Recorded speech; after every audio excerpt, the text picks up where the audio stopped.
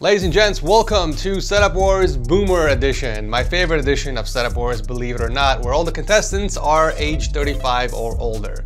I know that's not the exact age group of boomers, but just go with it, okay? The point of the episode is to show off setups from my older audience that want to participate. So with that said, sit back and relax, grab your cigars, and let the Setup Wars begin.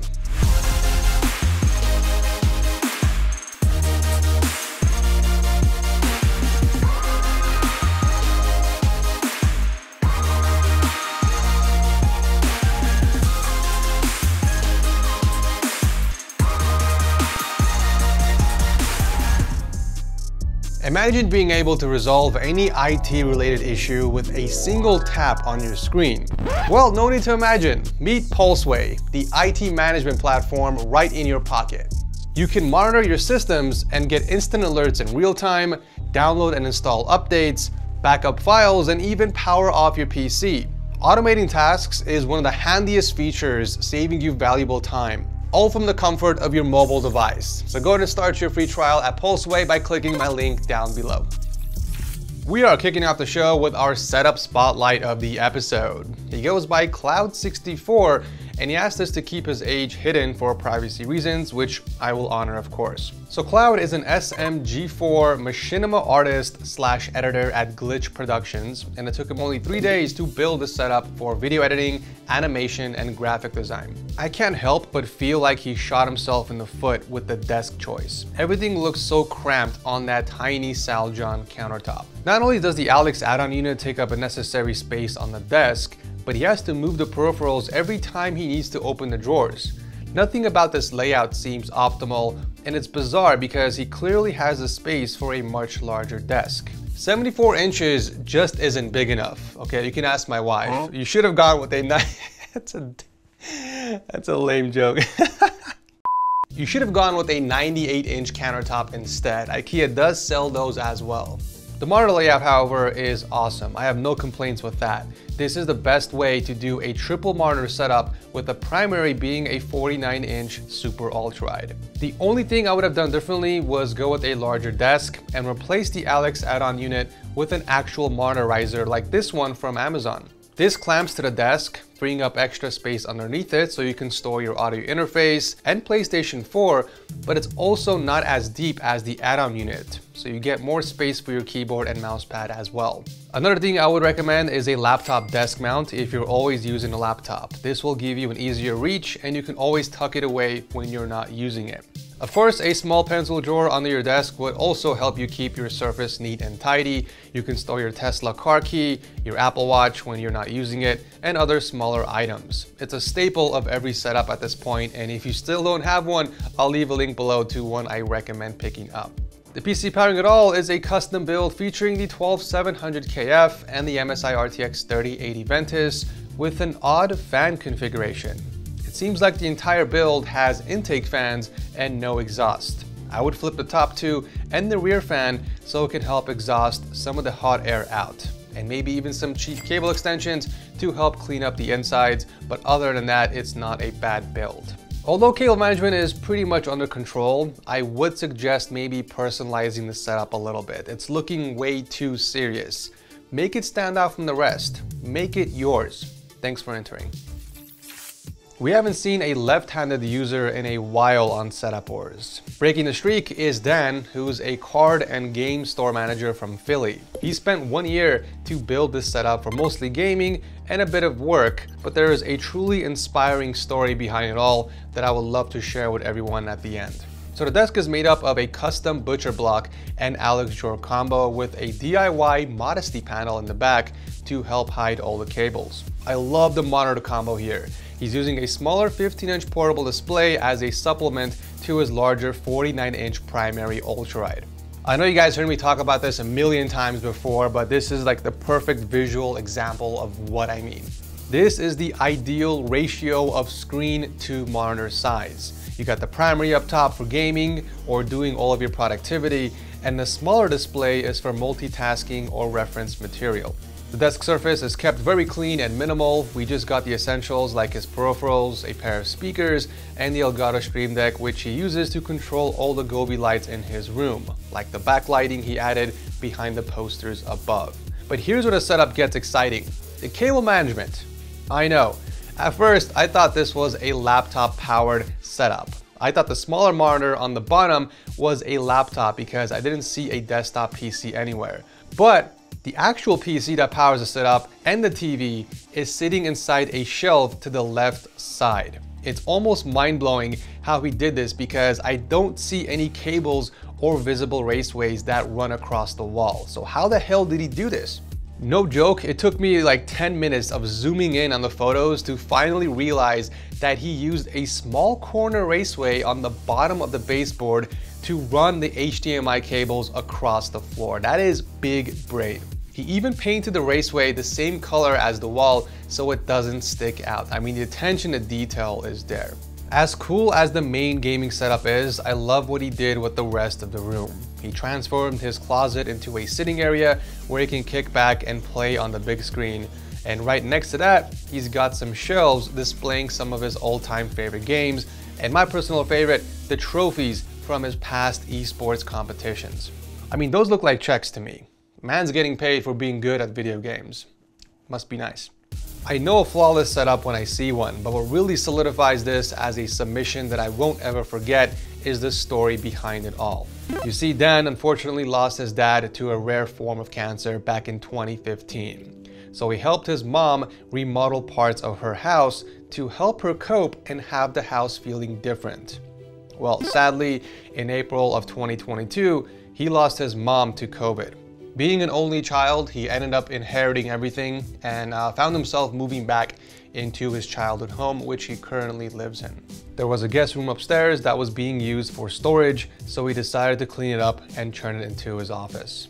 I bring up the story because the entire process of transforming the room into his office that you see here now was like therapy for Dan.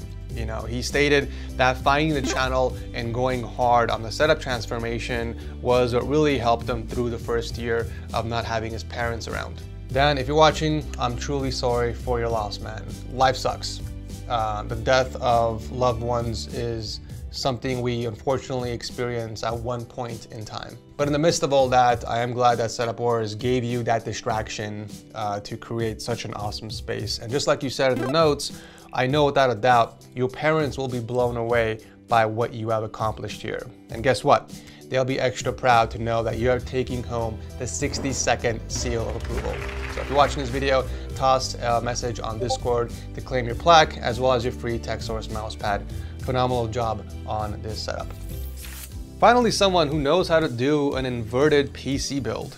This is Evan's dual ultralight setup from Cali. He's an IT system admin that spent a good three years upgrading this setup so that he can work from home, but also game on his spare time. He's really into drifting, which is what the sim racing setup on the side is used for, completely decked out with Fanatec racing gear. The main setup, however, is what got my juices flowing in the first place. He custom built the desk himself using a slab from a liquid amber tree from his backyard and the legs have been fabricated from square tubes. It came out looking really good actually. The light wood complements the darker accents nicely. We got stacked ultrawides for both displays and underneath that is the Corsair K95 keyboard paired with a Razer Naga Ultimate. However, the grommet for the desk is in a weird spot. I would have just ran the cables across the desk instead. Not only would it be closer to the PC, but also you wouldn't have to drill a hole in that awesome desk. That hole serves no other purpose other than to route that keyboard cable, so it just seems unnecessary to me. For audio, Evan is rocking a pair of Mackie speakers for the primary source, and for the secondaries, he's got a nice selection between the Philips Fidelios and the Ultra Ultrasone Pros. I just love how clean he kept the surface of the desk. He moved the entire DAC and amp stack under his desk what appears to be a mount of some sort. I'm not sure if he made this himself or if it was purchased online. I know that you can practically find custom stuff on Etsy, so that is a possibility. Aside from that loose cable from the headphones, the rest of the cables have been managed beautifully thanks to a few cable racks. Also bonus points on that undermount for the UPS. Much better than just leaving it on the floor. Another thing that got my juices flowing is that Epic PC, a custom hardline build featuring the Ryzen 9 5900X and the AMD RX 6900 XT in a fully inverted O11 dynamic case. This man has the best of both worlds and two equally badass setups. Thank you, Evan, for coming on the show. What a pleasant surprise this was. I just got done reacting to this very same setup on the last Reddit video to only come across the actual submission on Setup Wars. Like, what are the chances of this? I'm actually really glad that Jay put in a submission because this setup caught my attention quite a bit. To start off, he is also an IT support specialist, but from Malaysia. And it took him two years to get this set up to this point for gaming and working from home. What is it with IT guys and baller setups? They must be paying you guys really good apparently. Some of the things that caught my attention was the perfect balance of function and form. Everything about this setup just flows, from the katana mounted on the pegboard to the beautiful subtle wood accents. So he's running triple displays with an ultrawide as the primary and two other smaller displays for multitasking. I just love the wood skin bezel on the vertical monitor. That's something I haven't seen before. It actually looks like he skinned the custom speaker stands and the monitor riser as well for consistency. This is actually pretty creative. If you look at the speakers from an angle, we can see that the stand was made out of some rustic pipes and a shelf, while the riser was made out of some furniture legs and a slab of wood. For peripherals, he's rocking an ROG Flare 2 keyboard paired with an ROG Keris mouse with an ROG mousepad. I gotta respect the loyalty to the ROG ecosystem here. Aside from the speakers, he's also got two pairs of ROG headsets that he swaps to for gaming. The go-tos are the Delta S wireless that he keeps underneath one of the speakers, and the other Deltas are kept underneath the desk, which I'm assuming are backup. The cable management looks like it's nicely contained. He installed a massive rack that helps route all the cables into the back of the custom PC that's powering the main setup. We got a 12700F paired with an ROG Strix 3070 Ti. The secondary setup is powered by his Xbox Series S. Now this is where he kicks back to play some console games and watch content on Netflix and Amazon Prime. Really great work and attention to detail on this awesome setup. Thank you Jay for finally coming on the show.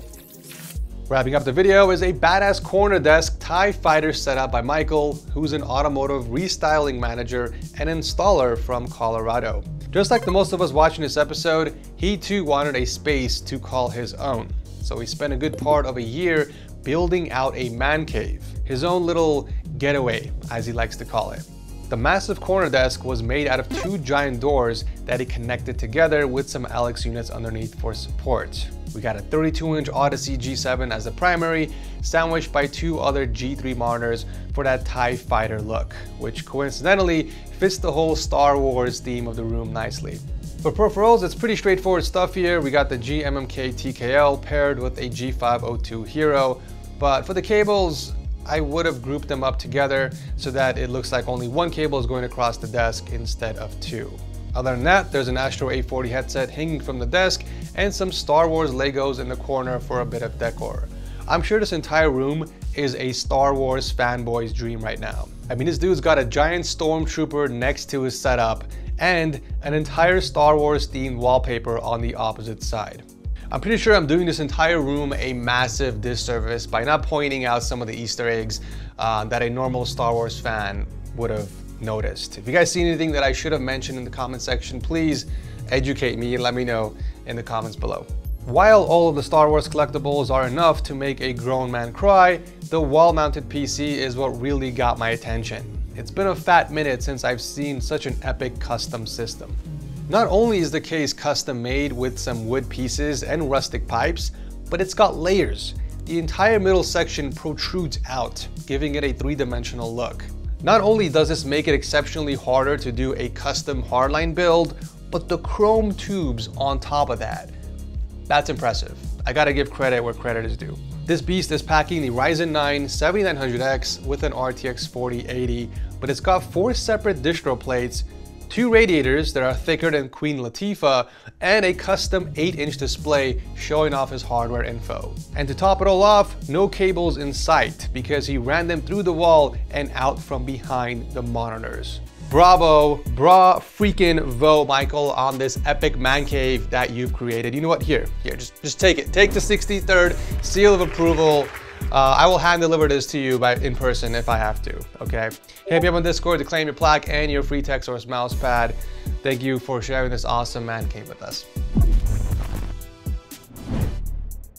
And with that, let me know in the comment section which of these setups was your absolute favorite. Thank you guys for watching. As always, leave a like if you guys are enjoying Setup Wars, and I will see you very soon in the next one.